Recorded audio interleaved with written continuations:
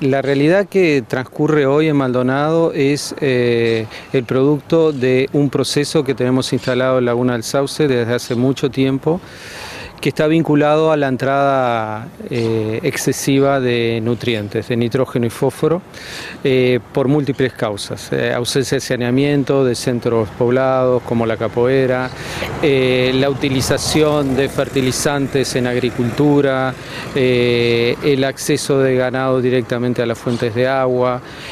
tenemos una combinación de factores que son los, las condicionantes de un proceso eh, que se manifiesta en un crecimiento excesivo de microalgas o de cianobacterias. Concretamente lo que tenemos ahora es un crecimiento excesivo, una proliferación de cianobacterias, que son los causantes directos de este problema de mal sabor y olor.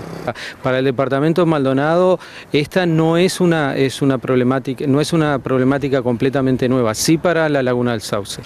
Eh, la sustancia que le da sabor al agua es el metilisoborneol, es una sustancia, un metabolismo, un metabolito, perdón, un este, compuesto químico este, que es eh, sintetizado por estas cianobacterias, por estas microalgas, y, bueno, este, hoy en día está siendo retenido en la mayor parte de lo que producen las algas por carbono activado en la planta de la OCE, que es lo que se utiliza a nivel mundial.